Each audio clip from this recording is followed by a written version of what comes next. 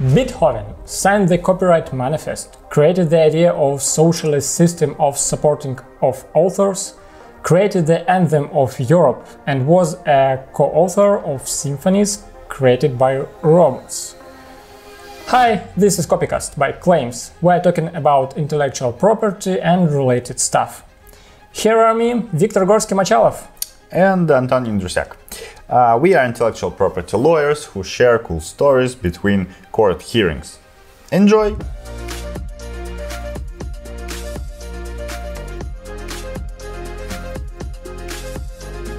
And today we're talking about Beethoven. He is a very old guy. He created many famous masterpieces. And how old is he? He was, uh, because he died almost 200 years ago. So good news! We can now download his music from internet and use it in our commercials.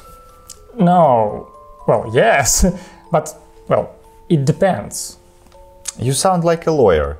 Sorry, but you really should be careful, because, yes, Beethoven died a long time ago, so his works are in public domain. However, everyone who create any performance of any of uh, Beethoven's works or creates something based on Beethoven's works has exclusive rights to uh, these creations. That's why it's very likely that recordings of Beethoven's works uh, that you download from the internet are protected by copyright and the rights belong to some musicians who are quite alive. All right, all right.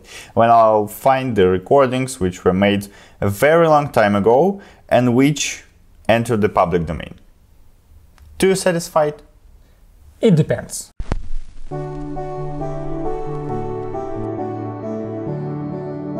Do you know that Beethoven was so great that the final part of his Ninth Symphony, uh, also known as Ode to Joy, became the anthem of the European Union?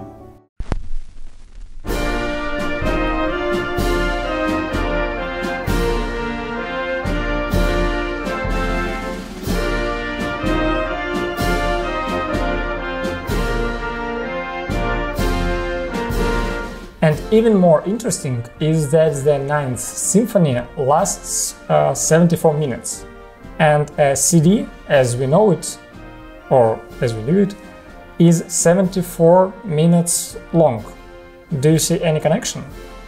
So do you mean that the volume of a CD disc was specially created to exactly match the length of a Ninth Symphony? But why? That's right. Uh, who loved that symphony so much? I don't know, and history is silent about that. Either Sony and Philips, who were CD development companies, or the wife of Sony chairman Akio Morita. In fact, it doesn't matter.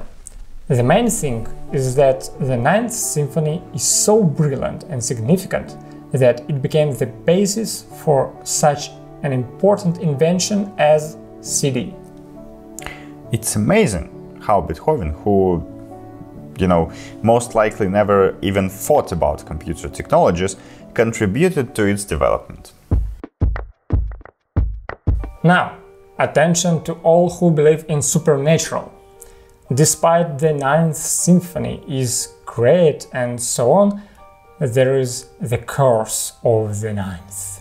According to it, the composer is destined to die while writing or after writing Ninth Symphony or before completing a Tenth Symphony. Mm, did this happen not only with Beethoven? Yes, for example, Malcolm Arnold, Kurt Atterberg, Anton Bruckner, David Maslanka, and others. It is not so bad.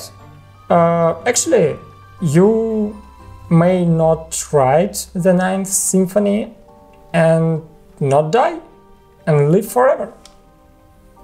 Or if you think that it's time for you to pass, you just can simply write the Ninth Symphony and die. It's great. Okay, uh, let's be serious. The curse of the Ninth is more of a coincidence and a tale than a truth. of course.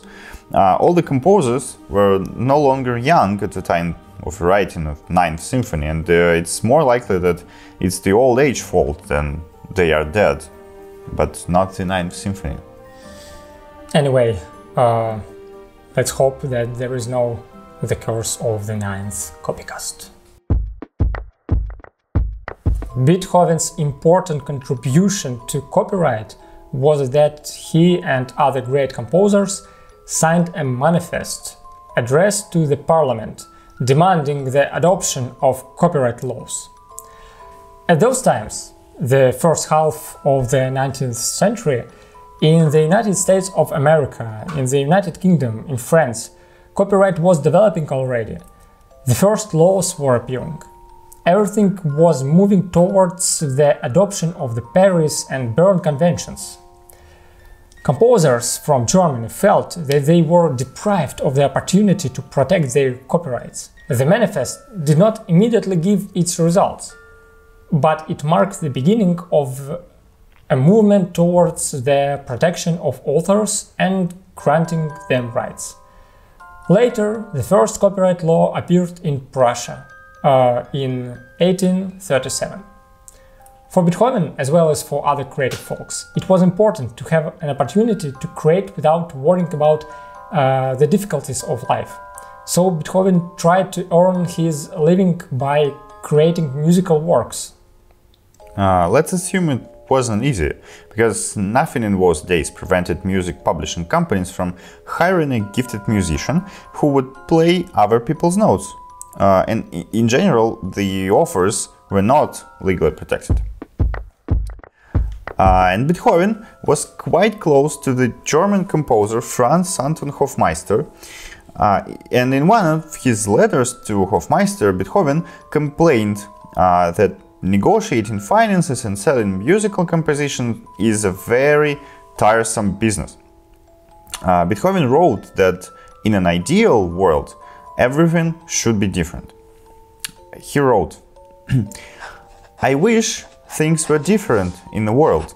There just ought to be in the world a storehouse of art, or in German, ein Magazin der Kunst, uh, to which the artist would only bring his artworks in order to take what he needed, as it is one must be half businessman.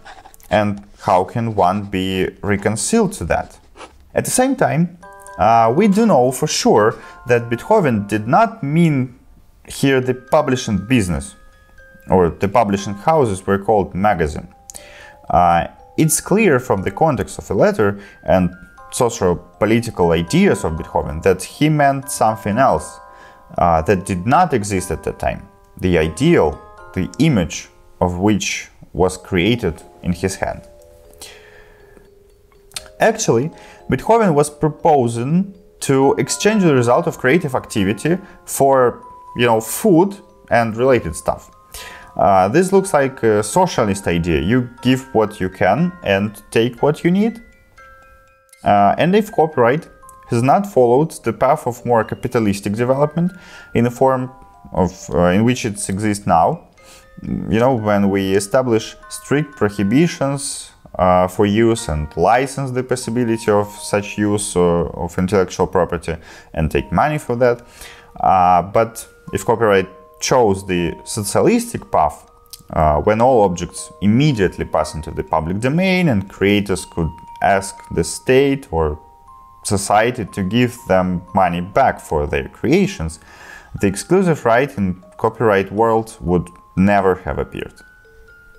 Actually, in the modern world, we have a model in which someone does something as creator and get paid for it. Uh, the so-called grant system, in which a government supports the creative activity of authors and in this case, the author usually does not claim copyright uh, as it is transferred uh, to the government.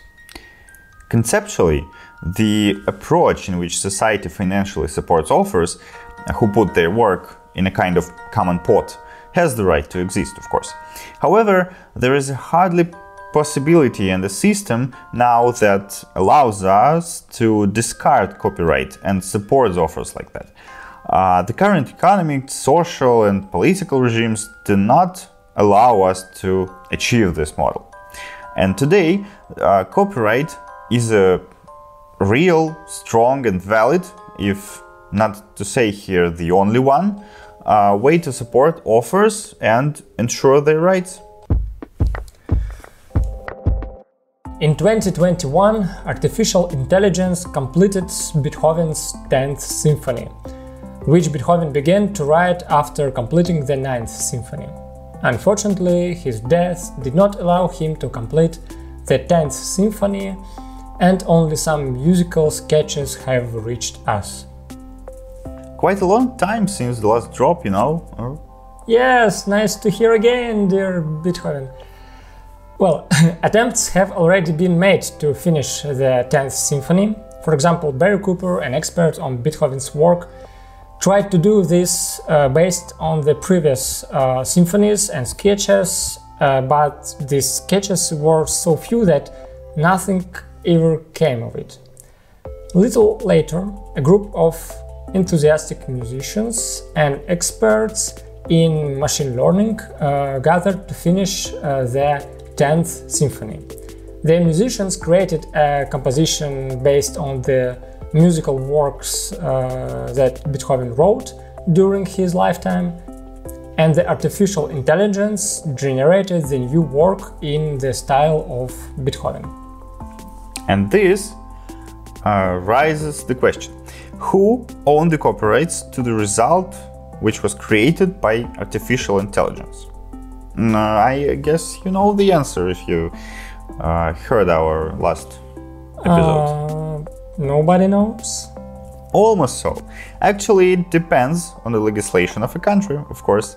Uh, in some countries, the right will not belong to anyone at all, uh, since there is no creative activity in generating musical composition by AI.